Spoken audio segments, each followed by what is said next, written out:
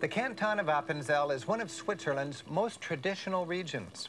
In fact, it's so traditional that Appenzellers are the butt of many jokes by sophisticates in big city Switzerland. The stubborn survival of local traditions is what makes this such a great place to visit. Switzerland achieved full independence by 1648. That was a full 200 years before the democratic revolutions of 1848 swept through the rest of Europe. In some ways, Switzerland's independence isolated it from European high culture. Back then, it took a rich nobility or the Roman Catholic Church to pay for big-time cultural achievements. So, instead of grand palaces and cathedrals, we can see how Swiss culture showed off on a small and personal scale. The Appenzell Folk Museum gives travelers a great peek into the cow culture. You'll see traditional costumes, living rooms, art, and crafts. The laissez-faire Swiss Confederation allowed each canton to have its own religion, language, economic planning, and so on. In Appenzell, entire villages met in the town squares to vote, and they still do. Historically, only the men voted by raising the family sword. It wasn't until 1990 that Appenzell women, even without swords, were given full voting privileges. The museum's collection is a folksy reminder that this canton stays close to its roots. The town of Appenzell is a handy base for exploring the area. This has been the capital of the canton for 400 years, and many of the buildings date back to that time. Here in traditional Appenzell, a local Yodel Fest is a great outing. Back before email and cell phones, yodeling was the way one goat herder communicated with another across isolated alpine pastures.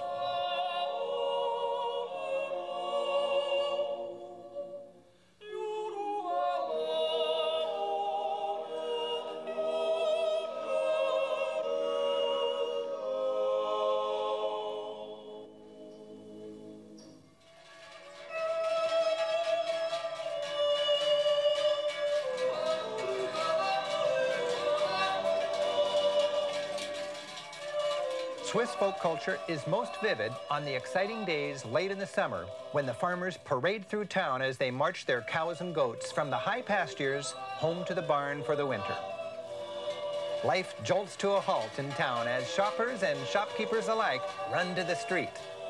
The three best milk cows proudly swing the biggest bells. And for this impromptu festival, school's out. This traditional dairy farming, so securely a part of our image of Switzerland, really couldn't survive today without a little help. Traditional farmers get subsidies from the government to guarantee this part of the Swiss heritage doesn't go the way of the small farm in America.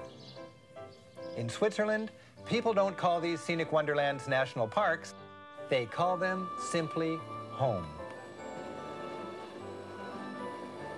Rather than spend the night in town, we're sleeping high in the Alps. This gondola takes us from Wasserauen to the summit of Ebenalp. In the Alps, locals know that the weather blows in and the weather blows out. And a little rain dampens no one's holiday spirit.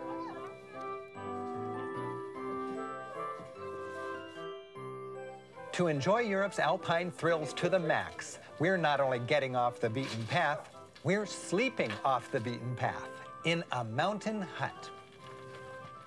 Tonight, we're bedding down with the goats. Well, at least near the goats, at Guesthouse Aescher. The hut is actually built onto the cliffside. Its back wall is the mountain.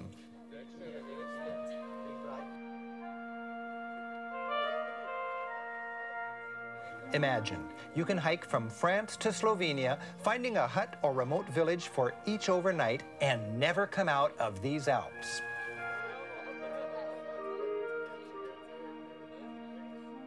Guesthouse Aescher isn't just any hut. It was originally built to house pilgrims who came here to pray with a hermit monk. Hermit monks lived in this cave for about 200 years until 1853. This is their church the Wildkirchli. Pilgrims came from all over this part of Switzerland to worship here, long before the lift was around to make the trip an easy one. Today the monks are long gone, but Guesthouse Aescher still houses pilgrims, like us, communing with nature.